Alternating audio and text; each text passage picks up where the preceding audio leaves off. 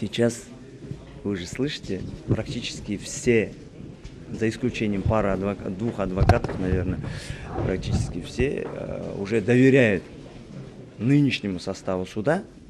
Потом, следовательно, они не видят никаких препятствий, что процесс будет объективным, беспристрастным, полным и всесторонним. По моим подзащитным, да, я считаю их невиновными. Иначе бы я, наверное, вообще не брался бы за, их, за них, потому что они, как руководители управлений департаментов, выполняли соответствующие указания руководства Акимата Атраусской области.